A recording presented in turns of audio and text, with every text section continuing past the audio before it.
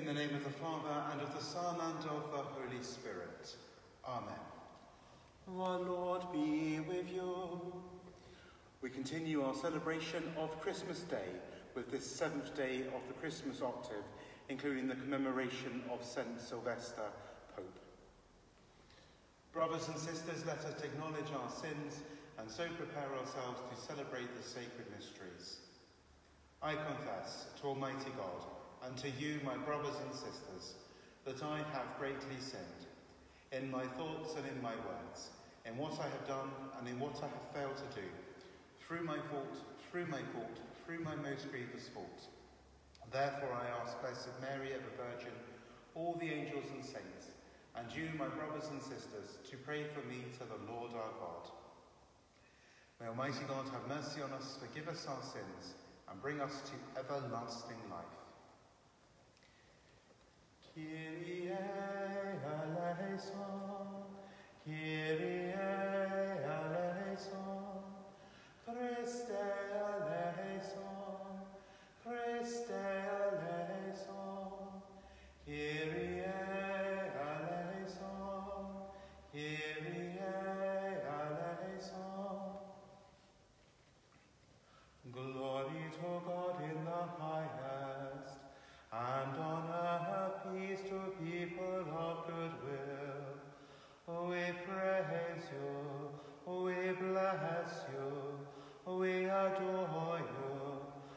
glorify you, we give you thanks for your great glory.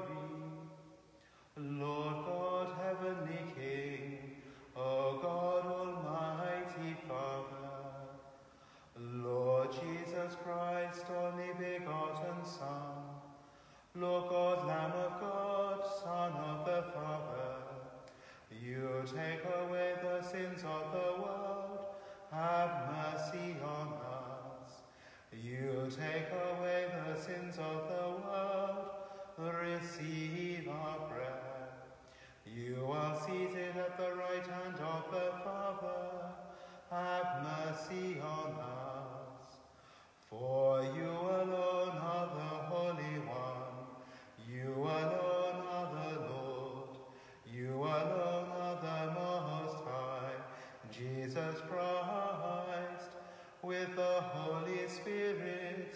in the glory of God the Father. Amen.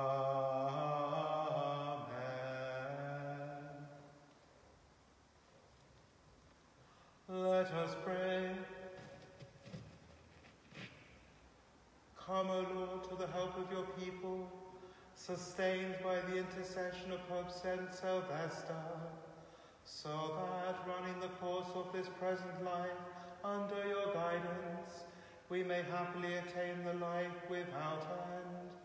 Through our Lord Jesus Christ, your Son, who lives and reigns with you in the unity of the Holy Spirit, one God forever and ever. Amen.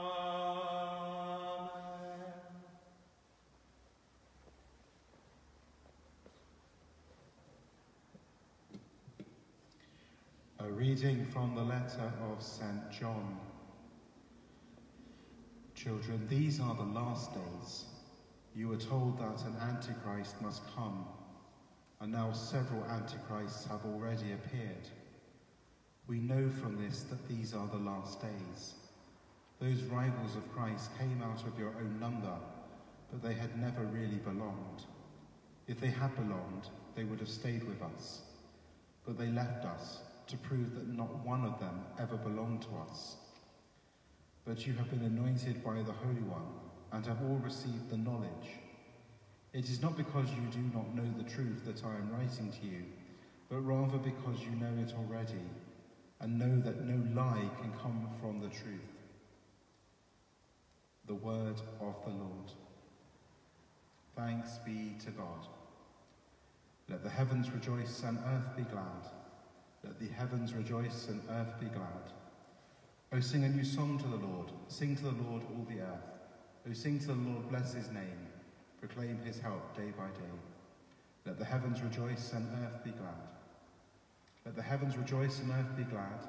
Let the sea and all within it thunder praise. Let the land and all it bears rejoice.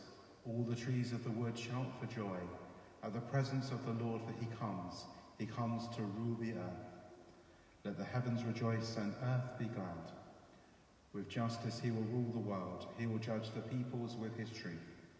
Let the heavens rejoice and earth be glad.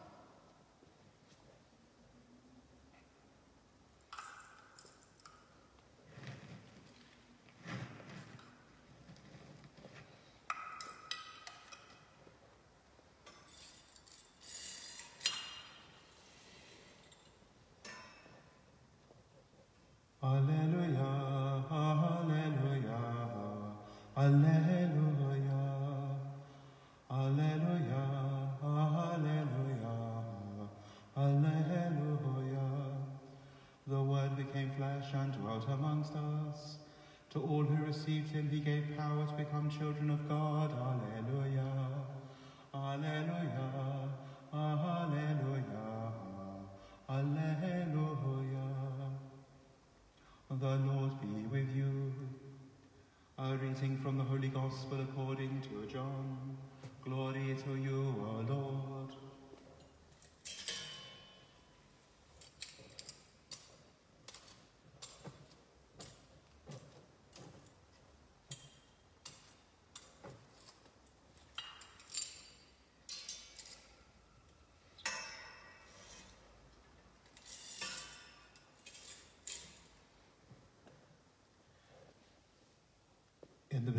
was the Word, the Word was with God, and the Word was God.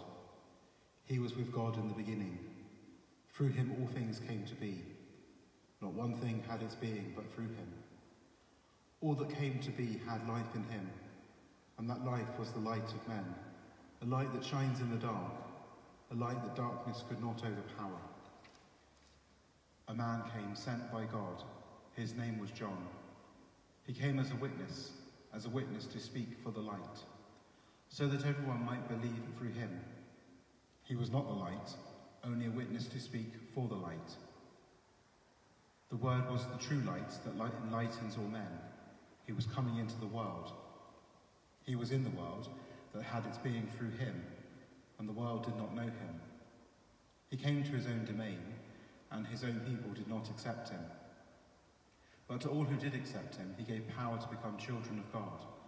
To all who believe in the name of him, who was born not out of human stock, or the urge of the flesh, or will of man, but of God himself.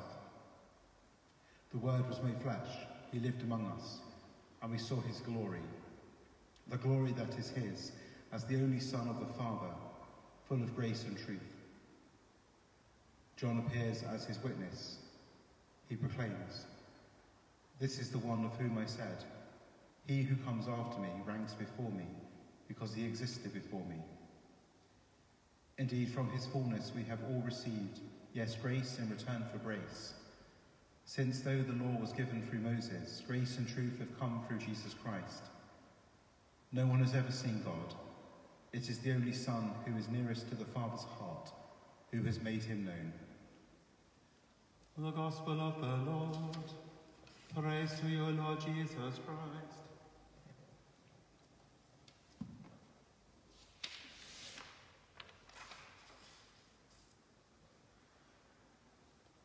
We know very little about Pope St. Sylvester, other than he was Bishop of Rome for 21 years, and his burial anniversary being the 31st of December. He died in 335 AD, and so he would have been involved in the Council of Nicaea. This is the era of Constantine the Great, who had signed the Edict of Milan in 313 AD, ending persecution of Christians, enabling the church to deal with questions about who and what is Jesus Christ. It is not fashionable these days to speak about the Antichrist, but it is clearly something that concerns John in his first letter. Since the beginning of our human existence, there has been a tension between truth and falsehood. The devil does not sell us an outright lie, but suggests half truths. Nicaea was an ecumenical council discussing whether or not Jesus Christ is truly God from God. There is just too much evidence to claim that Jesus doesn't exist. We can see right through that lie. But what if the Antichrist can convince us that Jesus is not really God? In today's language, we try to relegate Jesus to a quirky rabbi who is culturally bound to his time.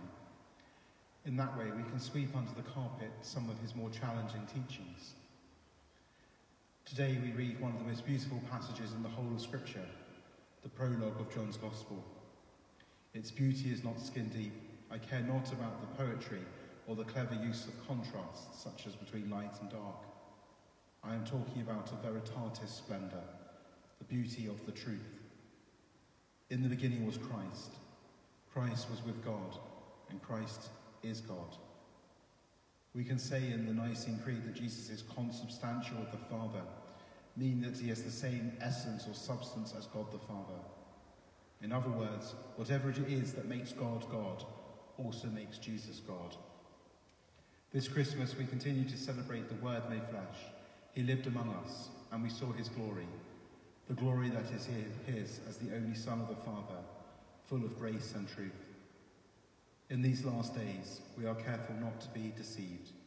We cast off our personal antichrists, that being anything that takes the place of Jesus Christ in our life.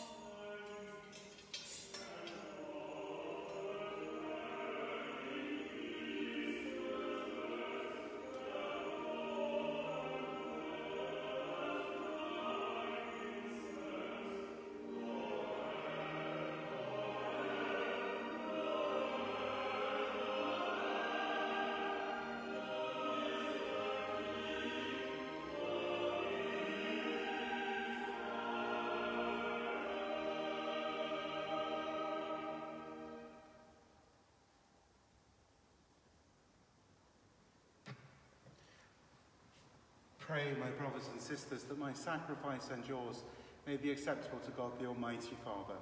May the Lord accept the sacrifice of my hands for the praise and glory of his name, for our good and good of all his holy church.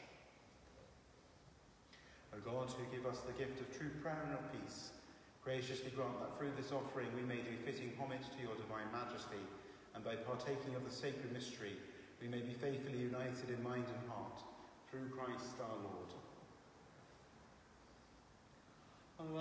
Be with you. Lift up your hearts. We lift them up to the Lord. Let us give thanks to the Lord our God. It is right and just. It is truly right and just, our duty and our salvation, always and everywhere to give you thanks, Lord, Holy Father, Almighty and eternal God.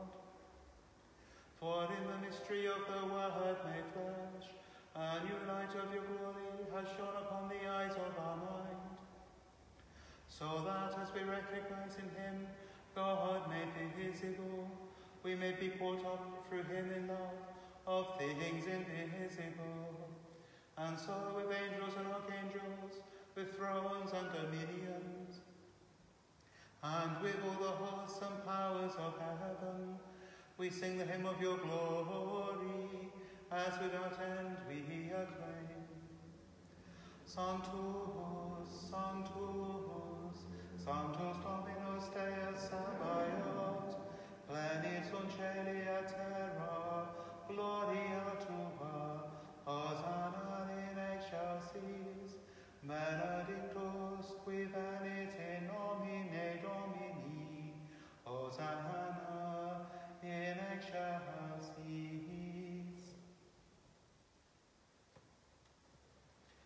therefore, most merciful Father, we make humble prayer and petition through Jesus Christ, your Son, our Lord, that you accept and bless these gifts, these offerings, these holy and unblemished sacrifices, which we offer you firstly for your holy Catholic Church.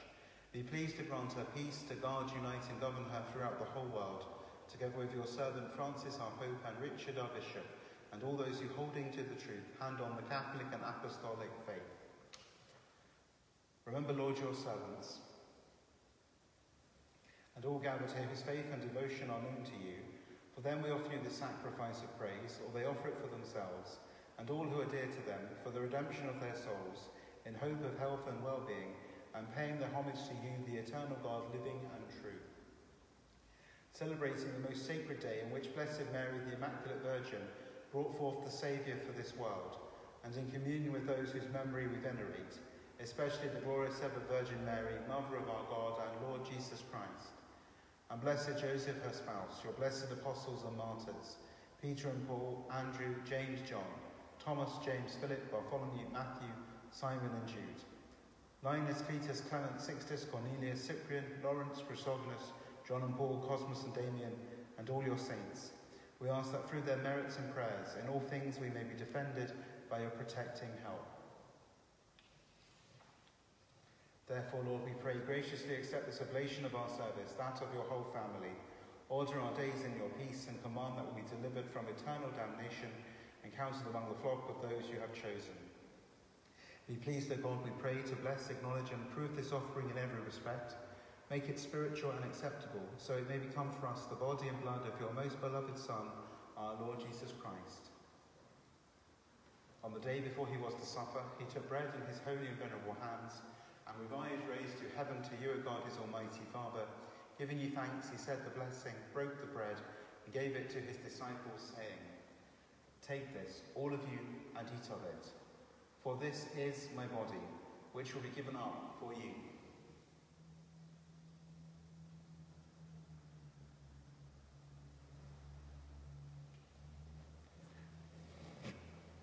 Similar way, when supper was ended, he took this precious chalice in his holy and venerable hands, and once more giving you thanks, he said the blessing, and gave the chalice to his disciples, saying, Take this, all of you, and drink from it, for this is the chalice of my blood, the blood of the new and eternal covenant, which will be poured out for you and for many, for the forgiveness of sins. Do this in memory of me.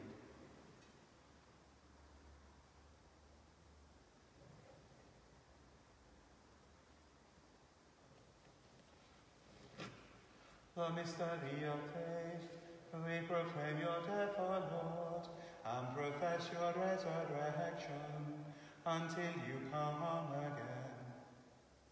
Therefore, O Lord, as we celebrate the memorial of the Blessed Passion, the resurrection from the dead, and the glorious ascension into heaven of Christ your Son, our Lord, we, your servants and your holy people, offer to your glorious majesty from the gifts that you have given us this pure victim, this holy victim, this spotless victim, the holy bread of eternal life, and the chalice of everlasting salvation.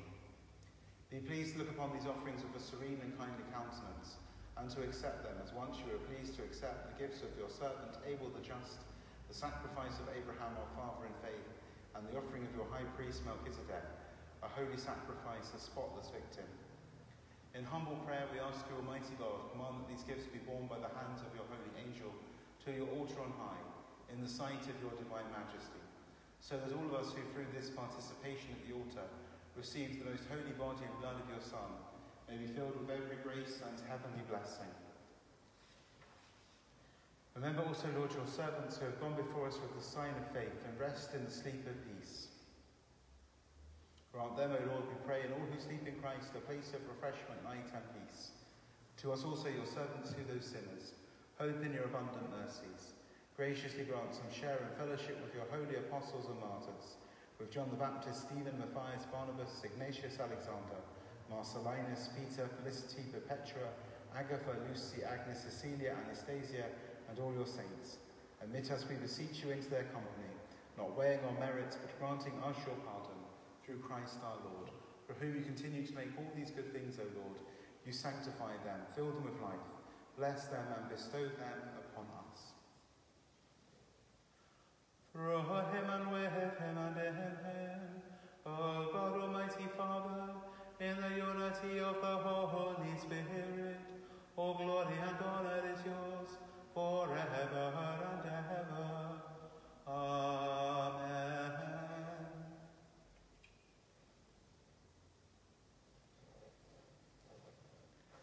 Receptus salutaribus mones, et avida restitutione formati, audemus dicere, Pater nostra, qui es in celis, sanctificat tua nomen tuum, adveniat regnum tuum, fiat voluntas tua, sicut in cielo et in terra, Anum nostrum quotidianum da nobis hodie, et dimite nobis debita nostra, sicut ad nos dimitimus, debitoribus nostris, et ne nos inducans in tentationem, sed libera nos a malo. Deliver us, Lord, we pray, from every evil, graciously grant peace in our days, that by the help of your mercy we may be always free from sin and safe from all distress, as we await the blessed hope and the coming of our Saviour, Jesus Christ. For the kingdom, the power, and the glory are yours now and forever. Lord Jesus Christ, you said to your apostles, Peace I leave you, my peace I give you. Look not on our sins, but on the faith of your church, and graciously grant her peace and unity in accordance with your will, who live and reign forever and ever. Amen. The peace of the Lord be with you always.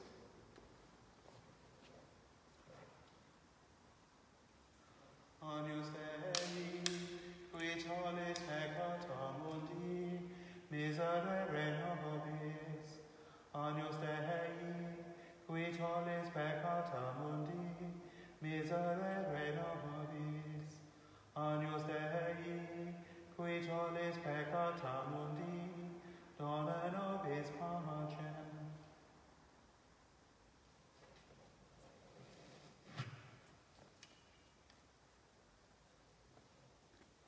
Behold the Lamb of God, behold him who takes away the sins of the world.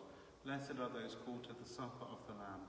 Lord, I am not worthy that you should enter under my roof, but only say the word, and my soul shall be healed.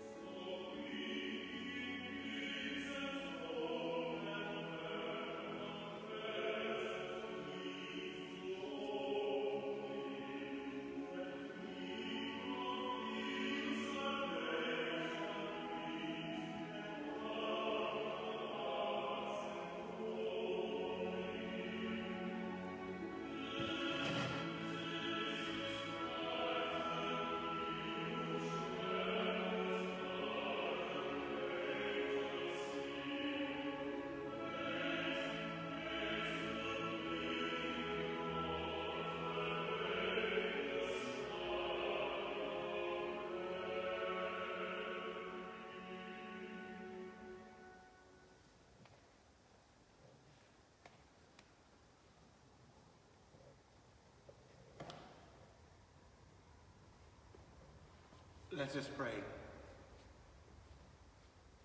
May your people, O Lord, whom you guide and sustain in many ways, experience both now and in the future the remedies which you bestow, that with the needed solace of things that pass away, they may strive with ever deepened trust for things eternal. Through Christ our Lord. however you're going to celebrate at home this evening the change of the year of our Lord 2020 into the year of our Lord 2021, I wish you uh, great joy.